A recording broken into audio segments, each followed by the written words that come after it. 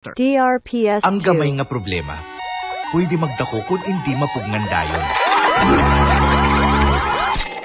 Daw ubo.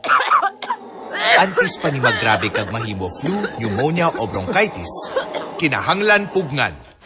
Mag-new Solmux Advanced Syrup with 2 times zinc versus DRPS2. Solmux Advanced Tablet para tabangan nga mapungan ang paggrabe sa ubo. Carbocysteine plus zinc Solmux Advanced help resolve cough with phlegm in as fast as 3 to 5 days when taken 3 times a day. Solmux Advance, pinalakas ng zinc. Now in syrup. Alagang Unilab yan. Carbocysteine plus zinc is the generic name of Solmux Advanced. If symptoms persist, consult your doctor.